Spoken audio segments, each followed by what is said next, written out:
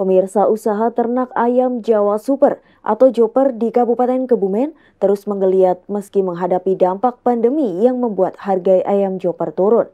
Meski harga turun, peternak masih bisa mendapatkan keuntungan. Seperti apa usaha ternak ayam Joper? Berikut liputannya untuk Anda.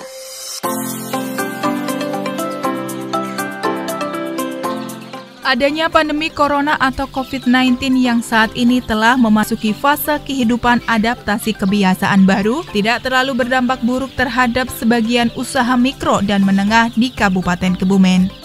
Salah satunya usaha budidaya ayam Jowo Super atau ayam Joper yang saat ini tengah digeluti oleh Marjono.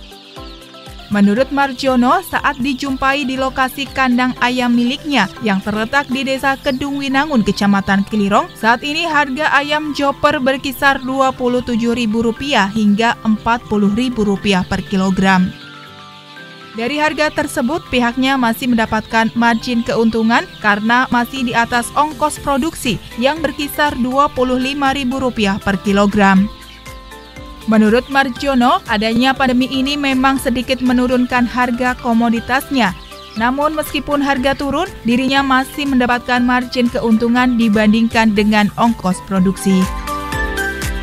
Kalau harga uh, itu relatif ya, setiap no, itu fluktuatifnya setiap waktu berubah-ubah.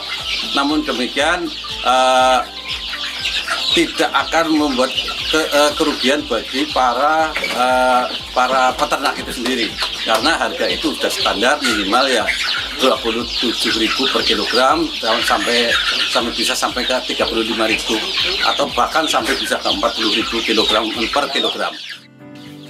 Dari Desa Kedung Winangun, Kecamatan Kelirong, Tim Liputan Rati TV memberitakan.